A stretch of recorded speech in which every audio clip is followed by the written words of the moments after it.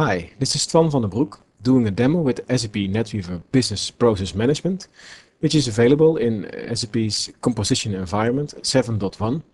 I also want to include a business rule with the new business rules management opportunity within the composition environment. Therefore, I have this simple process, expense demo, with no backend integration, but just to show you how to model this process and how to include a business rule in this process. Let me first explain the process I have prepared for you. I have two roles in the process, a requester and a manager. The, ma the requester starts with entering an expense statement with a specific amount. And what I want to do is go decide whether I go to auto approval or go to via manager approval on base of the expense amount that has been entered in the first step. So if it's below 25 euros, it goes via auto approval and it shows the result to the requester. If it's above 25 euros, I want to go via the manager with a specific task for the manager to approve the expense statement. In this step, the manager can reject or approve the expense statement from the requester. And of course, after that, it will also show the result to the original requester. Let's get started with the process after the first step, when the requester enters the expense, we need a new step to validate the expense amount and to set a status um, to decide whether it's going via auto approval or going via manager approval.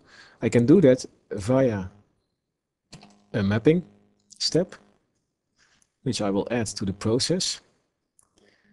Mapping, let's call it validate expense and we'll go to the gateway. Format pool. There we have the process that we want to use. Next step is to assign the dependency, to assign the WebDynPro project to this business process project.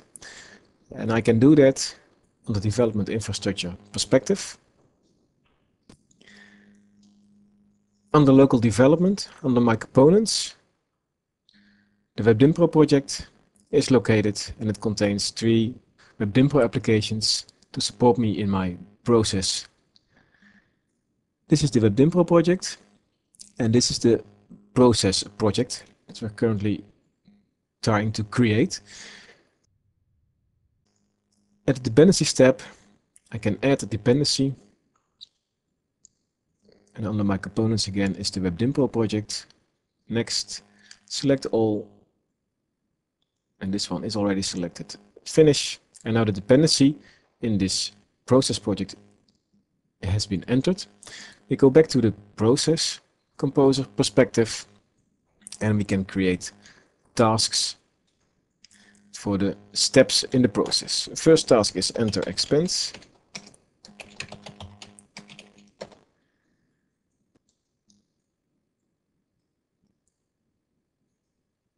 And what we can do now is assign the user interface that's coming from the WebDynPro project. Expense as the first step. Finish. Only as then you can find how to create WebDynPro project and use it in the process project. I will not go into details right now. I also want to specify which user is going to be assigned to this task, which is the requester. Now it's going to the to the portal, and I can select the requester to this specific task. I'm going to create a new task. Now we have three tasks over here, and we have the steps from the process in on my working space. And by drag and drop, I can combine those two, the tasks to the steps. Show result over here, validate expense oh, over here.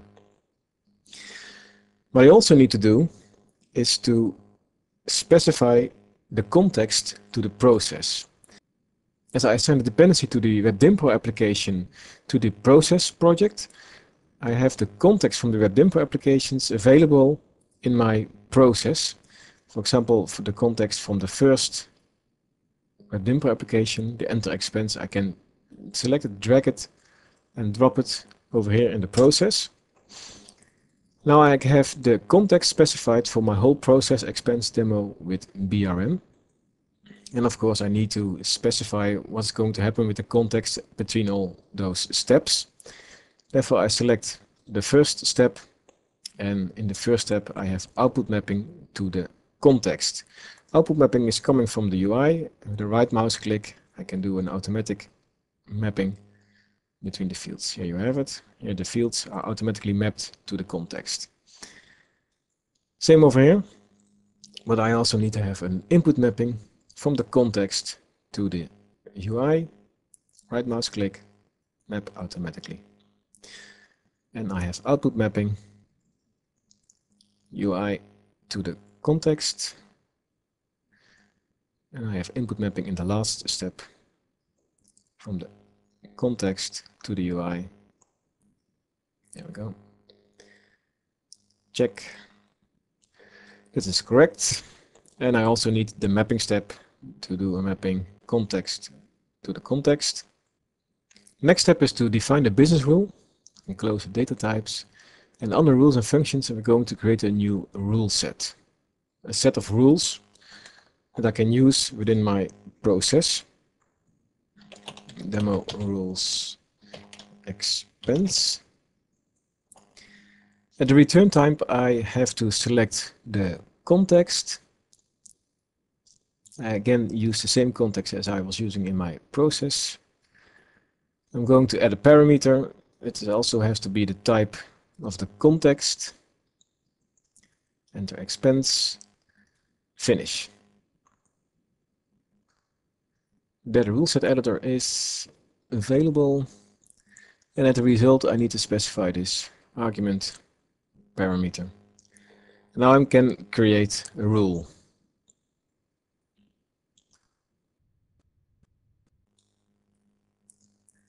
New rule, check expense amount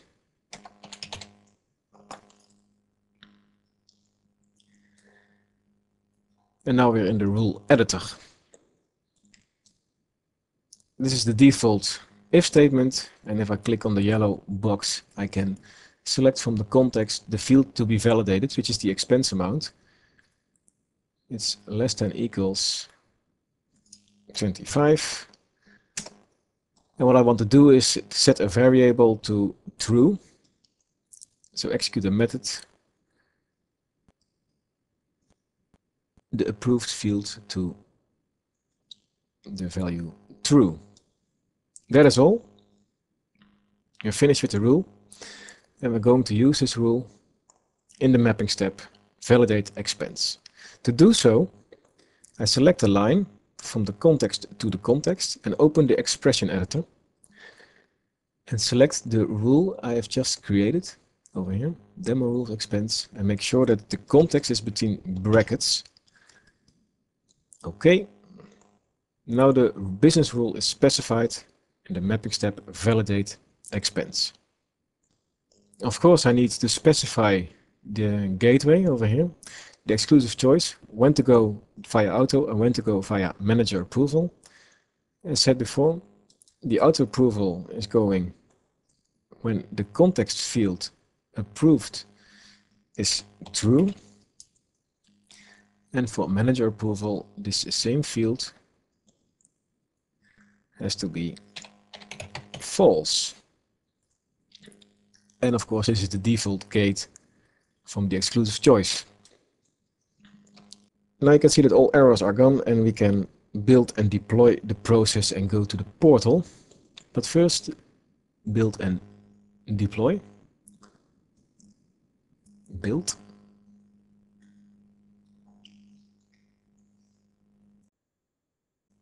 When you're done with deploying the application, we can go to the NetWeaver administrator to start the process. Here we are in the NetWeaver administrator. We go to configuration management, processes and tasks, process repository. We get a list of all deployed processes. Our one is called expense demo SDN. Let's enlarge the screen a bit. Select the process definition, start procedure,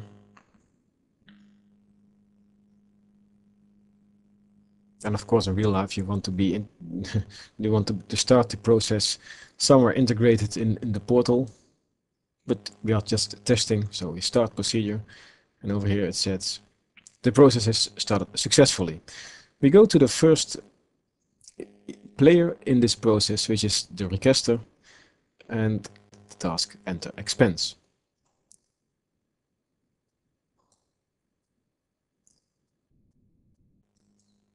First, the difficult scenario, 1000 euros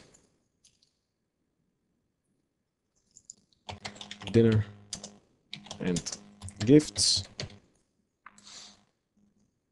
Submit. And I want to close this window.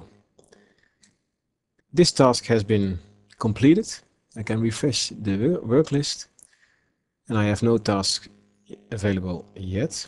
I go to the manager over here and you will see that the manager has a new task validate expense he opens this task and here he sees what has been entered the thousand euro for dinner and gifts and if he wants to have a look at the process where he is located he opens the process overview and sees okay I'm approving the expense but this is ridiculous, so I reject as a manager. Close this window. And the task will be gone from the manager work list. Go back to the requester. Refresh. Show results. And I can see that my expense has been rejected, which is sad news, of course. But I will give it a new try by starting up the process again. Enter expense again. And now you can see it's a silly demo because I of course can do a few times with an amount under the 25 euros. But anyway. Cheap dinner.